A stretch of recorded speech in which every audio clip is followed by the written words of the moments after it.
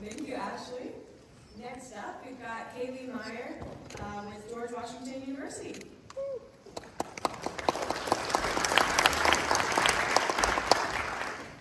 Hi everyone, I'm Kaylee. I'm a first year computer science major at George Washington University, and I'm one of the former App Challenge participants, and I participated in the Congressional App Challenge just last year for the 7th District of Virginia. So the idea that is called Task.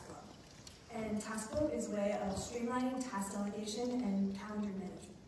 Congress is busy, so having a centralized approach to organizing tasks is very important.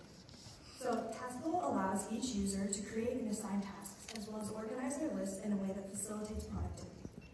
When a task is created, there is a form that basically allows you to fill out all of the information that you need to assign the task to somebody else to be completed.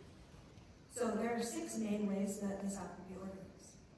One is each person who registers will create their own profile.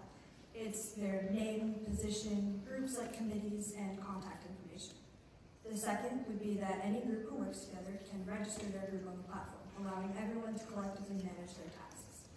Three is an integrated calendar that allows each user to visualize the time frame of their tasks and filter between groups as a holistic view of their tasks. The fourth thing are task lists that are organized very much in the same way that your calendar workload would be organized, but it also contains the same organization and functionalities so that you can filter between your different groups. Then five and six kind of work hand in hand. It would be a chatbot and a messaging system where the program will first check questions about a task. Uh, well, the program will first check if questions that somebody has about a task have been answered already, and it will then give that answer to the user. And then if the question hasn't been answered, it can then directly connect whoever is asking the question to the original creator of the task.